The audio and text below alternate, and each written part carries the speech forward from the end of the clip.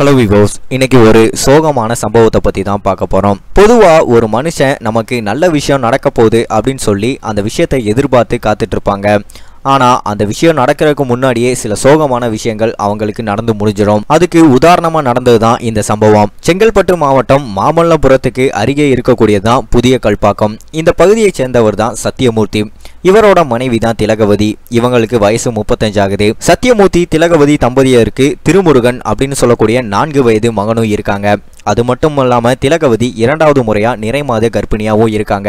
திருமுருகன் அங்க இருக்கக்கூடிய பள்ளியில எல்கேஜி படிச்சுட்டு வந்துட்டு இருக்காரு சத்தியமூர்த்தி மீன்பிடி தொழில் பண்ணிட்டு வந்துட்டு இருக்காரு அடிக்கடி கடலுக்குள்ள போற சத்தியமூர்த்தி வழக்கம் போல அவர் மீன் பிடிக்கிறக்காண்டி கடலுக்குள்ளேயும் போயிருக்காரு. நிறைமாத கர்ப்பிணியா இருக்கக்கூடிய திலகவதி என்ன பண்ணிருக்காங்கன்னா தன்னோட நான்கு வயசு மகன் திருமுருகனை பள்ளியில விடுறதுக்காண்டி அவங்க சாலையை கடக்க முயற்சி பண்ணியிருக்காங்க இந்த நேரத்தில் ஈசிஆர்ல உள்ள ஒரு வளைவு பாதையை அவங்க கடந்திருக்காங்க.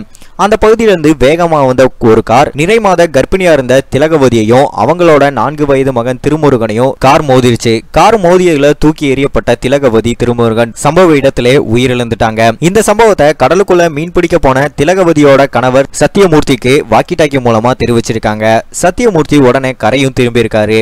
அங்க வந்து தன்னோட மனைவி மகன் சடலங்களை பார்த்து கண்ணீர் விட்டு கதறி அழுதுருக்காரு.